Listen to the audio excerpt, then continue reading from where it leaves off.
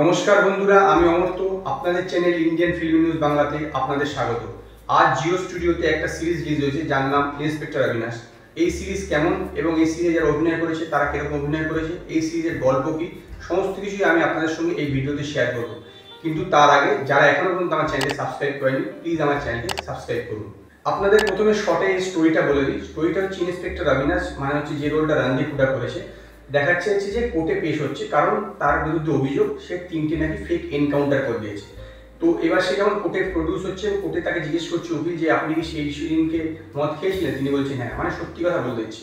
তো যাই হোক, তারপরে স্টোরিটা ব্যাকগ্রাউন্ডে চলে যাচ্ছে। এই ঘটনা কেন ঘটলো, এটা জানবার জন্য তার অভিনাশের মানে ইন্সপেক্টর অভিনাশের জীবনটা কীরকম ছিল বা কীভাবে এই জায়গায় পৌঁছাবে সেটা দেখানো হচ্ছে। মানে স্টোরি ব্যাকে চলে যাচ্ছে। স্টোরিটা এইভাবে তখন ব্যাকে গিয়ে দেখানো হচ্ছে যে ইউপির যে এ সিএম তার বিরুদ্ধে একটা থ্রেট এসছে মানে তাকে মারবার একটু সুপারি দিয়ে দিয়েছে যে একজন বাহুবলীকে। তো সরকার থেকে একটা এসটিএফ গঠন করা হয়েছে, যার চার্জ দেওয়া হয়েছে এই ইন্সপেক্টর অবিনাশ এবার সে সেই লোকগুলোকে কীভাবে ধরছে বা বাহুবলীকে কীভাবে মারছে, সেটাই এই ওয়েব সিরিজে দেখানো হয়েছে।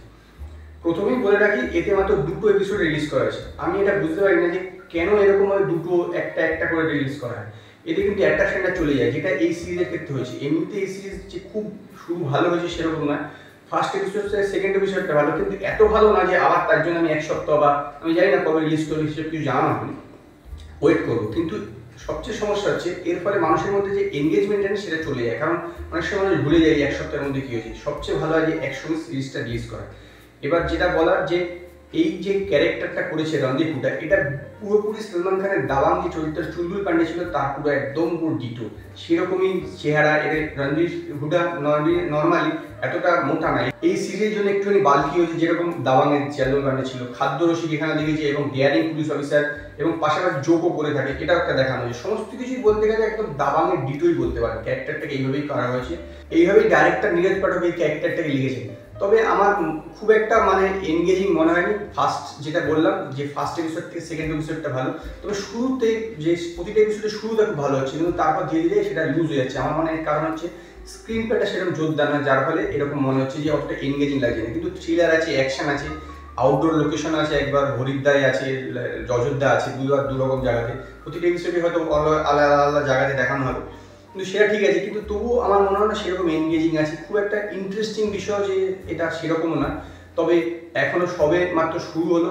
এর মধ্যে মধ্যে ফেরি দাদুওয়ালা আছে, যে একজন মানে ওই ইউপির যে হোম মিনিস্টার রোলটা করছে, বোঝা যাচ্ছে সে আর্ম ডিলার্সের যে মেন রোল সেই করছে। যদিও এটা দেখানো হয়েছে, এর মধ্যে এখনও পর্যন্ত সবে সেকেন্ড এপিসোডের শেষে অভিমন্যু সিংকে ইন্ট্রোডিউস করা হয়েছে। তো স্বাভাবিকভাবে এখনও ঠিক সেরকম এনগেজিং হয়নি। তো আমার এরকম সেটা খুব একটা ভালো লাগেনি। আমি ওয়েব সিরিজে পাঁচের মধ্যে তিনটে স্টার দেবো।